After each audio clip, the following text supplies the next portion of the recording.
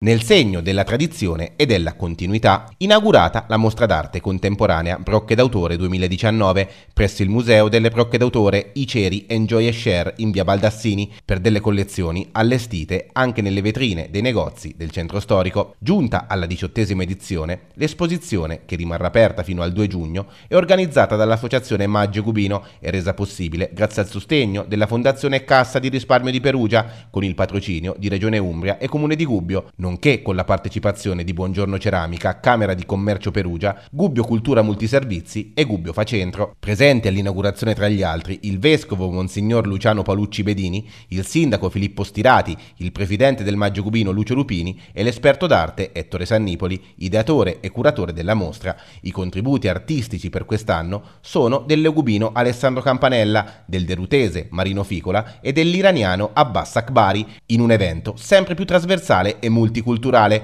per un'arte che si perde nella notte dei tempi. Abbiamo avuto un rapporto interculturale che speriamo di coltivare anche negli anni venturi e che già abbiamo eh, coltivato in precedenti edizioni ospitando artisti da Cuba, dall'Australia e da altri luoghi del mondo, proprio per far vedere l'universalità eh, di questo tipo di espressione artistica che è forse una delle, eh, delle tecniche più antiche e più connaturate con il DNA de, dell'uomo. Eh,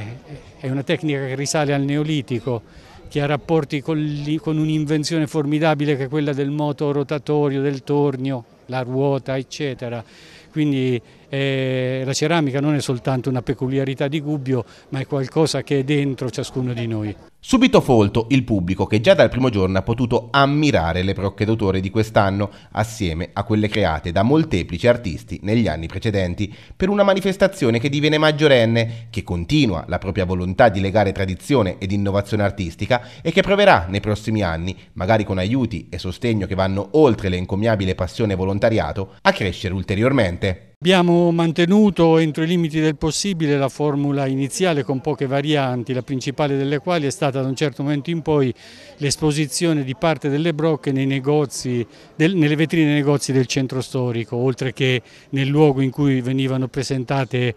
annualmente le nuove creazioni. La manifestazione è organizzata dalla Proloco, la Proloco come sai bene è diciamo, un luogo di volontariato e quindi è difficile renderla magari come le intenzioni porterebbero a fare molto articolata. Eh, se ci fossero risorse, sostanze eccetera forse un salto ulteriore di qualità potrebbe essere immaginabile, per ora ci accontentiamo così.